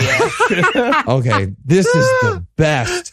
So she, yeah, Lorraine's still in the the doodly do, and Ed is like, "Hey, Lorraine, Lorraine, uh, we got a demon here, like a real one in my life in the regular world. Lorraine, Lorraine, wet demon. There's a wet. There's a very wet demon. Focus up. It's right next to me. Also, we should point out that this demon is um, portly. He's a portly fellow. It's a large It demon. is. It is meatloaf. It is it meatloaf looks from Fight. Club. It looks It is exactly like so meatloaf. good. Meatloaf and naked. Yeah. Also naked. Naked and soaking wet with sweat. Yeah. And look, I think I can speak from personal experience here. Fat guy with his balls out, not scary. Funny. Definitely funny. Yeah. Not scary. This movie is very fun. This is a hilarious movie. Yeah. Yep. He has to, at one point, the demon starts to like run at Lorraine, but she's still in the dark world. So Ed is like, oh, I gotta side tackle this big fat fucking son. but he doesn't do it. He tr- he thinks about it. He's like, all right, I got to save Lorraine. But Meatloaf Demon Sweaty just start starts to run over and falls, trips and falls, smashes his face against the metal table. He it was so funny. I could not stop laughing. Why did this movie not think that was a comedy beat? It's a sl- it's a pratfall. A demon has a pratfall here. A demon does a pratfall and bang, poing, poings his head against the side of a thing, and we're supposed to be like, whew, what terror has been invoked in me? just does like a five minute Chevy Chase improv, falling over and stuff. It's ridiculous. he might as well fart when he goes down. Just like, demon, that was a demon fart. What's it, Eli? So now we're back at Ed and Lorraine's place and they are spooked. Dang it, spooked. But they realize that they can defeat the witch by destroying her altar because they, they found a book that says that, I guess. Yep. Just like, hey, look, this book says we can win the movie by destroying the altar. Great. And then the girlfriend, Arnie's girlfriend, is like, hold on, but didn't you like stop the witch in the last scene? Maybe she'll just get discouraged and stop. And I, was, I was so happy to like be reminded of that idea. Like, what would that look? A witch giving up, a witch just being like, ah, Angrily stuffing a cup full of blood back into a cardboard box. She's back at us. no just appreciation. updating her resume on her computer. But they explain that she can't stop now. Her soul depends on it. So Is blood a skill? Can you? Is blood stuff? Can I write that at the bottom? I'm putting, I, I, you know what? I'm going to have every one of my friends endorse me on LinkedIn for witch stuff. but yeah, apparently Lorraine in her vision, they were like, Lorraine, do you know where the witch is? And she was like, it was cold and there's water damage and there was a train. And they were like, great, that's no help. but don't worry, It will be. because apparently the the witch is going to come to them because for no reason and in a way that will never be acknowledged, Ed is just going to pass out right now. Yep. All right. Well, now that we're done with a scene called How to Win Act Three, I guess it's time for one more quick break. And then we'll be back for the remaining amount of The Conjuring. The devil made me do it.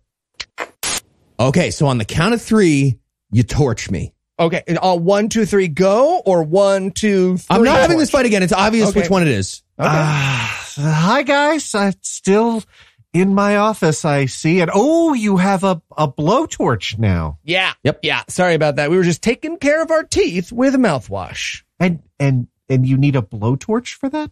Well, no. I mean, yes, yes, we do. You know how mouthwash burns super bad? So bad. Well, I just have Bah. Eli singe me a little while I swish, and now I hardly even notice the burning. Yeah. Okay. Uh, putting aside that there are several solutions you should have thought of before that, uh, why don't you just try Quip? The electric toothbrush people? Yeah, that's right. Well, look, they've launched a new mouthwash to help you complete your clean. Plus, it comes with a refillable dispenser that's delightful to use and sleek enough to fit on any bathroom counter. See? Ooh, it looks like a spaceship. Looks like it's from a bathroom where every towel is the good towel. It sure does. Yeah, Quip mouthwash kills bad breath germs, helps prevent cavities, and leaves you feeling fresh thanks to a formula that gives your mouth everything it needs and nothing it doesn't. Their 4X concentrate has fluoride, xylitol, and CPC, but they left out the artificial colors and stinging alcohol you'll find in a lot of other rinses. But Andrew, it's so sleek. How did they get all the mouthwash in there? I see that's the thing. Quip's refillable mouthwash is good for your mouth and the planet. With a 4X concentrated formula, Quip ships less water and more good for you ingredients. Each eco-friendly refill replaces a big, bulky 470 milliliter bottle from one of those other brands once diluted. And Quip's refill bottles are made from 100% recyclable plastic. Okay, but I bet I have to travel to the dangerous country of Quipvania to get those refills, right? Nope. Add a mouthwash refill plan and make sure your rinse never runs out. With a customizable subscription, you can get refills automatically delivered straight to your door every three months. You can stay on top of your swish without lugging any bottles home from the store. And if you go to getquip.com slash awful five right now, you can get $5 off a mouthwash starter kit.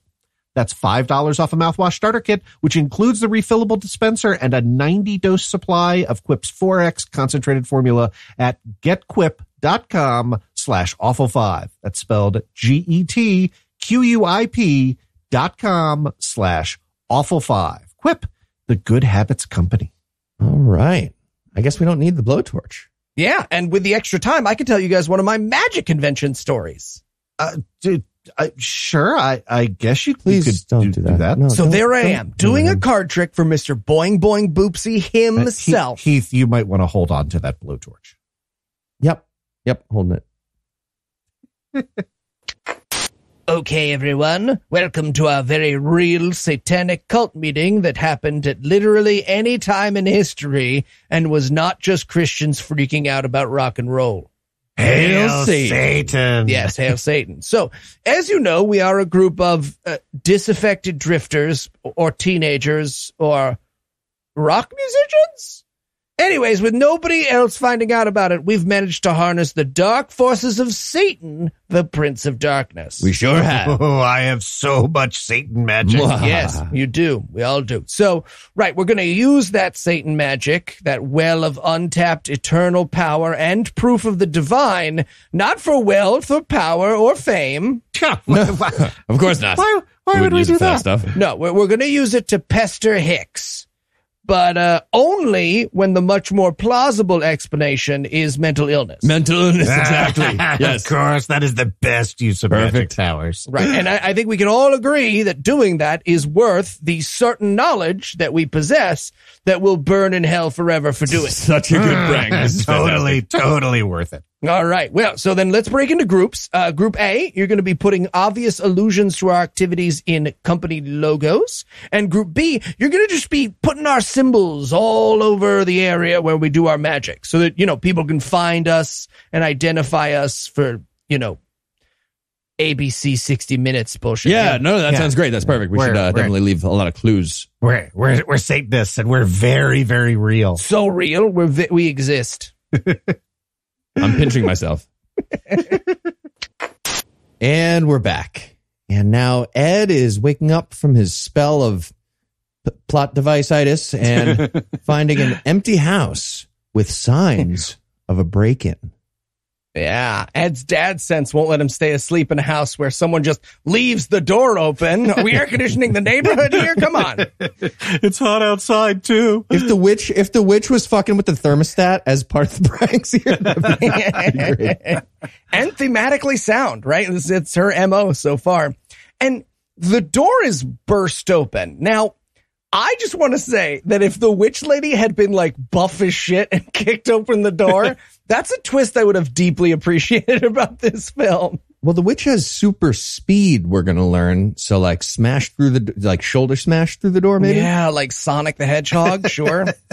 I don't know. but actually, he checks in the room And it's Meatloaf. Meatloaf again. demon. I love it. I really wanted Meatloaf to be like, I'm serving you for that slip and fall in the morgue. I know I felt kind of funny. I'm kind of angry about that. I just wanted to make up for that. I'm going to attack you. but it's a it's a trick. It's a trick by the witch to get him to stab Lorraine, which doesn't work because it's not that part of the movie yet. okay, th- these people need to put away all the knives that they have out. Yup. Like if you're in plots, like jo- don't have them out. Just put them in like a locker or something. Go hang out in a ball pit. That watch that witch is fucked. But he's like, I don't understand. How did the witch manage to put the stabby curse on me? And their assistant is like, yeah, the totem must be hidden somewhere. And then the camera pans over to the most haunted and dead flowers. oh my god yeah the assistant and by the way we have at three different points in the script all three of us have the like wait who the fuck is this guy again? Like like the assistant just kind of like disappears for half an hour at a stretch no and then shows back up to like well you know my aramaic is kind of rusty but whatever. And and here he's needed in this stretch to have brought in a vase full of black flowers. I mean, like hot topic goth black flowers that like, you know, it was like, well, you know, somebody sent these over when you were in the hospital and you're like, dude, you, you, you work for two trained demonologists and you thought the black vase with the black roses was the one to bring There's into the green house. smoke coming off of them. You brought that in. There's literal green smoke. At his performance review, they're like, okay, so first of all, coffee runs were always enthusiastic and great. Second of all, you did bring a witch totem into the office. So Yeah, but that's what we find out here. The witch totem is inside the vase. Oh. So just to be clear, Ed was lowering himself onto the vase. That's canon, yeah, right? Yeah, that's he must have hovered over the wa- vase at some point. demons go up. Exactly. yeah.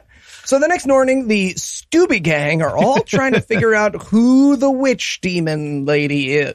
Okay. And they have a chalkboard here. Oh my like God. they're figuring something out. Oh, it's, fucking amazing. Oh. okay. beautiful. It's just pictures of the like four people in the plot with arrows going from one to the other. Like here's someone, the demon went from here to here. And then they- they have it like a pyramid scheme or like Yeah. a, like a RICO chart. And at the very top, there's no picture. It just says which question mark.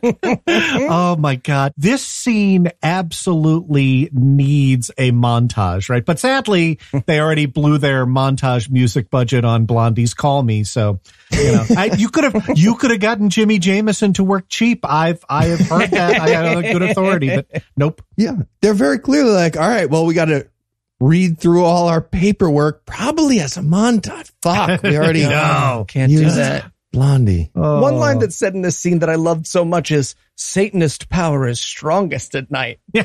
Which night? It's not always night on the planet or even at the same time.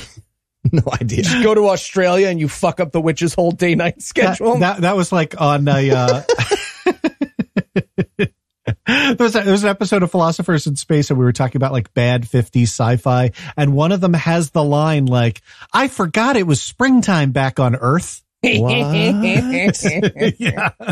But yeah, the name of this movie now is Find the Witch Yeah. Satanist, which, by the way, it's not going to be revealed that it's a character we've met, Yeah. which would make sense, right? If if it turns out it's Arnie's girlfriend or even the little boy's mom, you're like, oh, okay, I get it. That's connected to the plot.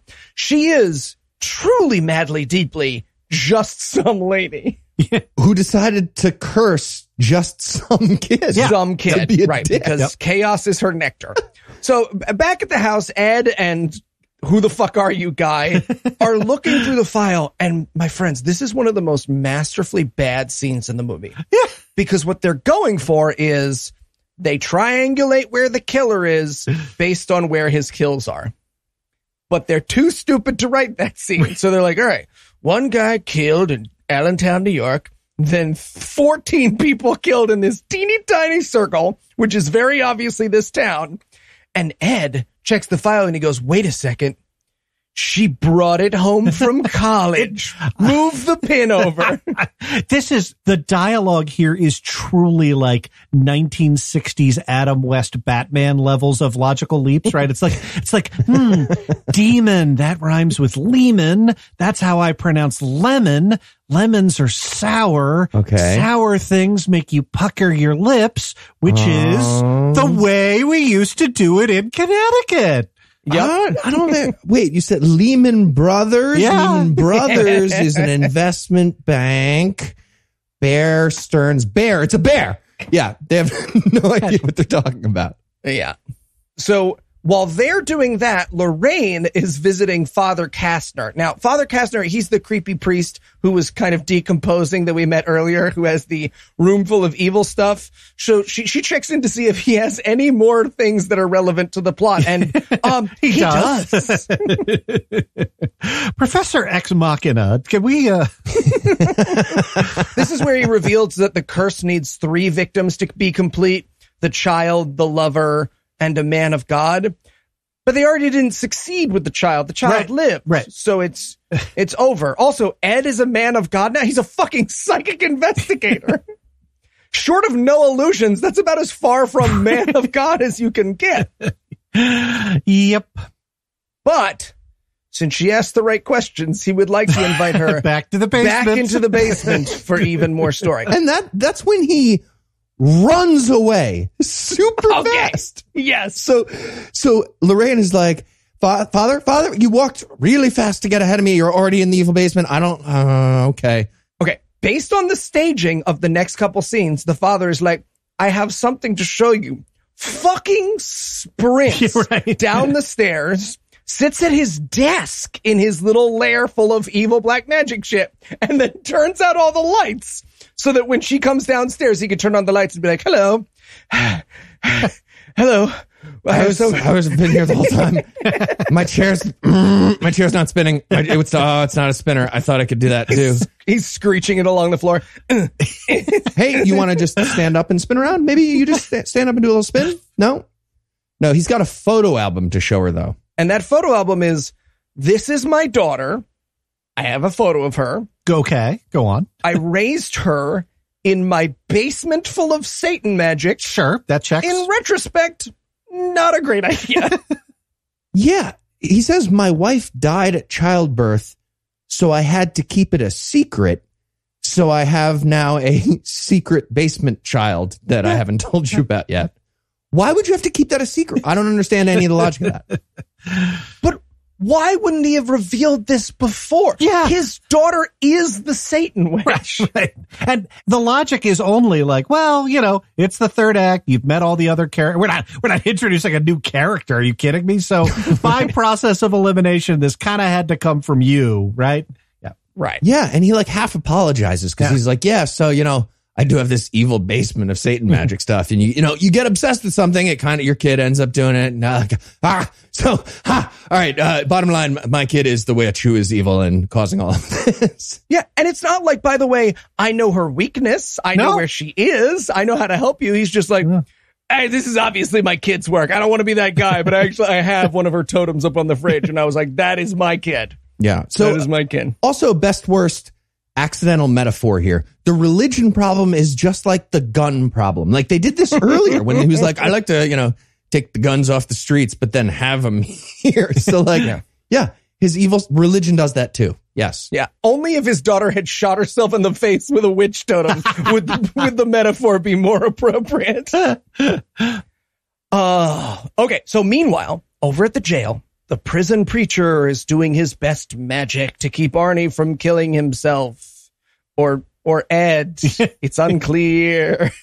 but he does have one piece of useful information to her, which is that, um, he does have underground Satan tunnels he yeah, knows about yeah. nearby. Not the, the nonchalance with which she's like, oh yeah, the tunnels under the evil. It, we're wait, just to be clear, we're we're in a basement, right? We went down the stairs. It's badly lit. You're saying there's a basement under that basement. Got it. Yeah. He explains and then like runs right through it into his next thing. And she's like, hold on, hold on. Did you say you have a dedicated system of evil totem tunnels Yeah. under this right now? yes, he does. But I, I also want to show you my board game collection. I don't know if you've ever played Azul. It's a lot of fun. People, it's really those pieces look beautiful. Oh no, you want to talk about the the murder tunnels? Okay. Yeah. So she she runs away, but now the witch is here. His daughter, as it turns out, is Mm-hmm. in the basement or maybe the tunnel system. They're connected. I It guess. is not clear at all. right. So she's somewhere in there, and then she actually shows up in his little office area. And he's like, wait, wait, let me switch off my lamp and turn it back on. Fuck. Ah. That's twice. I tried to do a dramatic spin. I'm not doing it. Really not being impactful with my hellos today. There's a line he says to her before she super speeds behind him and slits his throat. that is the movie I want to watch, where he says, "And here I thought you were just here to see me." Which implies that there is an unshot scene where witch Satan daughter shows up and like, "Hey, Dad, I was just in town, wanted to see you. Check out the underground Satan tunnels. Really? You want to go to Old Buffet?" I I I do, but that's I feel like you hate me, right? From the because the evil basement. Ah, I mean, uh, Satan because of the Satan magic. I mean, you know, can you ever really hate anyone? Hey, by the way, if anyone asks if there's a Satan witch around, just don't mention. me, Okay, uh, there it is. I feel like you're setting something up here. so she super speed kills her dad. Yeah, I mean, we cannot pause too lightly over the the. I mean, the flash power. She like Yep. runs behind him, quick sli- slices his throat. Again, this power is like the Superman three logo wrapping you up thing. Like mm-hmm. it would be super useful. Never shows up again ever, right? Like, Nope. remember her main antagonist at this point is Sidney Powell, kind of walking through dark mm-hmm. tunnels. Like, if if you're the fucking Flash, I feel pretty confident that you could take out Sidney Powell. Like, that's not going to be a problem. You'd think. Yeah. Okay. Speaking of Sidney Powell walking through dark tunnels, this is my favorite part. oh yeah, Sidney Powell is searching around trying to, I don't know, do detective work on these evil tunnels. And she comes across the big room of the altar that's been doing this spell the whole time. She's been seeing the visions of this when she goes into doodly doo world. Uh-huh. So she's like, oh, this is it. And it's this really big table with all the stuff on it with the matches and the incense and the, the big goblet of evil, whatever. so she remembers from before, okay, we just have to destroy this altar to win act three. That was in that book written in Aramaic. So she tries to flip this table over like a board game, but, it's enormous. heavy. It's way too heavy. And she's just like, "Ah, I can't, mm, I can't flip it. Words cannot express, dear podcast listener, how long our protagonist is foiled by a heavy desk. yep. So much screen time. More screen time is spent on this heavy desk than is spent on why the witch might want to curse random neighborhood farmers. But just break the stuff on top. Break this uh, magic goblet and stuff and uh, the, the magic items. What, is there a rule that you have to flip the table? There is no, she doesn't like try fucking up the stuff on the desk first. Oh, no. too. Oh, no. it's flip or GTFO. and can we point out that while she is like, eh, eh, you know, struggling so against long. this for like eight minutes, the witch is like, hey, remember in that last scene where I broke the speed of sound to now great time to walk dramatically. Like, oh, can you, can you hear my high heels? They're making the clip clop noise. Like I'm closing How are, in. You, how are you doing that? It's a dirt hallway. I feel like she got pulled into Satan's office yeah. and he was like, Hey, uh, were you using super speed? Cause we're trying to go for like a creepy demonic thing. So if you, I'm just going to need you to go extra slow for the rest of the night. oh, I, I was trying to build a moment. Is it not? okay. That this was like a fast zombies versus slow zombies kind of thing. Okay. Yeah. So Ed now pulls up outside. Why? Go fuck yourself. I have to every scene, every item that flows from the next for the next five minutes is legitimately hilarious from this point out. Right? Like beginning really with funny movie. This is a very funny movie. Yep. It's a good comedy. beginning with there's a back door into the secret Satan, Satan tubes. Like I There's a delivery entrance. Like seriously, he pulls up and he's like steps out of the car and he's like, "Oh, there's a delivery entrance right here. This is perfect." So I'll just sma- smash the lock on this and I'll be into the evil tunnel network. Great. I really wanted to watch the scene from the city where the witch is like, seriously, I have to put a second exit in. And the city's like, yeah, lady, if you want permit for your murder tunnels, you need two exits. All right. One that is fire safe. She's like, ah, fire, so much paperwork. I just want to kill some local farmers. Jesus. I mean, not Jesus, Satan. God. Damn it. I always do that. So now the witch who has had super strength to burst open doors, the ability to raise the dead, super speed, and a knife is going to wrestle with Sidney Powell a little bit, which is my favorite moment in the movie because this is where Sidney Powell slash Lorraine hits her in the head with the rock. Yeah. Yeah. They're doing the saving Private Ryan, I'm slowly lowering a knife onto you thing. And then she just hits her in the head with a rock. It's a it's a de-eyeballing, right? Like she's Mhm. she's wiggling the knife around in like a circular motion, and it's like I'm I'm about to cut that eyeball out. yeah, and sure enough, picks up a rock and like George Foreman at 48 fighting Evander Holyfield, like clumps it into the side of the head of the witch. It's it is I I cannot tell you how hysterical it is. It's it's the second funniest thing in these three minutes. And look, she does the villain thing where she touches her temple and she's like, huh, blood, because that's what villains have to do. Just once, I want a horror movie for the villain to be like, ow, fuck, oh, ow, right in my head. Ow, it's right in my head. Could head. have got my eye with that. What are you doing? But now, my friends, it is time to win Heath Enwright's love and affection for all time and all This is- eternity. the greatest. So Ed has broken into the tunnels. Sidney Powell just smashed the witch. Ed shows up and he's like, Oh, hey, uh, Lorraine, cool, great. Turns out Lorraine is the witch, actually, right? The witch has somehow disguised herself. Yeah. And then And then, so it's the witch. And the witch goes, Oh, hey, Ed, how you doing? Pocket sand. Pocket fucking sand, my friends. literally pocket sand. A witch. So that witch at the beginning of this day was like, all right, I've got all my hexes. I've got a knife. I've got this. I've got, you know what? I'm Gonna fill up one of these pockets with sand. Just in case. Or also this, she's doing her Satan training, right? Beelzebub rise from a pile of black goo made of baby bug. And he's like, okay, today we're learning pocket sand. this is great for pretty much all hand to hand combat situations you might get into as a scene witch. Uh, Sounds weird. We're doing pocket sand and wrist control today. That's just, that's just good stuff to have. I was going to say she might as well do wrist control or step on his insole. Ah, yeah. It's so- So, it's so I think Ed turns into a demon now. I I have no idea. Oh, maybe the pocket sand was also demon based. Yes. Somehow. it is magic sand. Yeah. Okay. So Ed's a demon now and he still has his giant sledgehammer that he broke in with. Mhm. And he just starts swinging wildly at everything in his area with a giant hammer, but he's Yup. blinded by pocket It's sand. So it's he's just it's breaking so everything. great. It is fantastic. Now, first, I wish they would have used some of that montage money for Peter Gabriel's sledgehammer right here. Like that would have just been perfect with the theme of the movie. But, uh, second, like I don't know if you guys have ever swung a sledgehammer before, but I like. Yeah, yeah, me too. Like, and it's and it's fun, and like fun. you can put a hole in stuff, but like he swings it, and like everything it touches, right, crumbles and explodes. Yeah, it's so great. Yeah. Uh, It is a rocket launcher slash sledgehammer. Yeah. So he is, just to be clear, attacking Lorraine with this sledgehammer.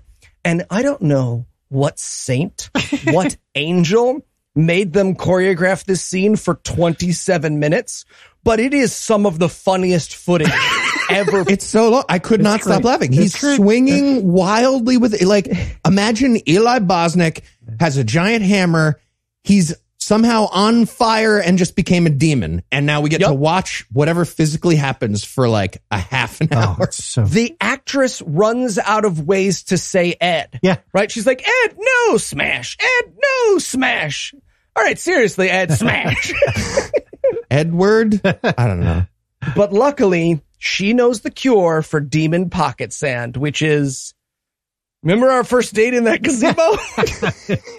Can we doodly do back to like an hour in this movie? Yeah.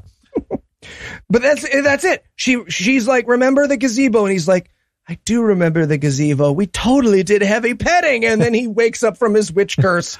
And luckily, again, very luckily, they happened, their little like hammer fight has taken them exactly to the witch's table that she couldn't push over earlier. So now Ed sledgehammers the table and the curse is broken. That's it. it is. The only thing I have to point out about this scene that I love is they break it and then the witch shows up and they're like, oh, right, fuck, witch with superpowers Yeah, is still here. but because they need the movie to end, apparently the demon is like done with her. So the demon comes and like takes her to the principal's office of hell. I did. Yeah. She does the like contorting her body like the boneitis guy from Futurama. Like, th- and this is, and mind you, it is replete with the same like kind of like crunching potato chip sound effects. We, we've seen, we haven't talked about it, but like three or four of the characters have done this, but it's not just like the exorcist. It's not the head spinning around. It is, you watch like the fingers like bend back into curly cues. It, if you've seen that episode of Futurama, like you, you will laugh your ass off here. Yeah. The witch walks up to them and they're like, ha, your curse is broken. We smashed your table. And she's like, yeah, well, I mean, I'm still going to kill you. I have like this Right. knife and I have super literally speed. super speed. I'm going to kill you. and then it was just out of nowhere, the movie realizing, oh, yeah, that's right. So, so we have to have all our bones start breaking now. Yeah. And then that different, yeah, was it like a higher ranking witch boss just teleports over? Assistant to the regional Satan. yeah. Like some sort of corporate structure of witches, and this witch has to be like, yeah, you're decommissioned. You have no bones. there you go. Yeah. We literally get a Satanus ex machina. Yeah. so they they crawl out of the evil tunnels of the witch and this is such a nothing scene i just loved it so much he's like oh i forgot my heart pills and she's like i keep one inside my locket except this was never established No. as stakes he's not even having a heart attack it's just like an extra thing they added into the movie I wanted it to be the wrong pill though. Like that's really for like decades she's kept that one pill. I wanted to be like, fuck, wait, that was Molly from the other night. Fuck. okay. You know what? Whatever. Fun night at the hospital. Let's do it. yeah let's go Spit half out. I want half. yeah, ch- cheater. All right, so now we watch Arnie get convicted of murder because that's what he did. right? Right? Right. So this is actually happening. We're actually watching this court case and it's, it's so good. The, uh, you know, everybody please rise. We have a, a verdict from the jury. And I want him to be like, okay, yeah, uh, I did definitely murder somebody, but I just want to point out that Van Morrison Brand New Day is playing. So, you know, You guys all hear on. that, right? Yeah. not guilty, right? Obviously, Van Morrison. But yeah, this is where the title card lets us know he's guilty and he got sentenced to 20 years. No, he got, he's, well, oh, he's, he got sentenced, but only served five. Yeah. Yeah, the title card says that that he he spent five years in prison, but he was sentenced to twenty. He was let out by those you know soft on crime liberals. Uh, but he was charged with manslaughter. Is that correct? I mean, it just it feels like murder was what he did based on what I saw and I think the actual history of this. Yeah, so I was confused by this and I did some hunting around on Wikipedia. Wikipedia seems to think there was more fighting going on than just like stabby stab stabbing. So maybe that's why he got a reduced sentence. Or maybe the judge believed in demons. I don't know. Maybe he went over to dinner with Ed and Lorraine. I thought what they were kind of saying in the movie was like, okay, well, it's not murder if a demon makes you do it is the title of our movie. It's manslaughter. the you will only serve two decades for this slightly lesser felony makes a, uh weirder subtitle. But yeah, like, look, look, first degree manslaughter is still pretty serious shit, right? Like it's it's Okay. uh, yeah. Yeah. So, and Eli is exactly right that, you know, the, the reason that that's the charge that you would go for as the prosecutor is that the defense testimony is going to be, look, we were fighting and like wrestling around and like there was not, I did not have the specific intent to stab this guy. Right. So so. I did have the specific intent to do him grievous bodily harm, but that was offset by the fact that, you know, he's punching me and stuff. So Also demon, so minus Also, 15. also demon. sorry, I made the mistake of saying what a sane person would say. Right. right.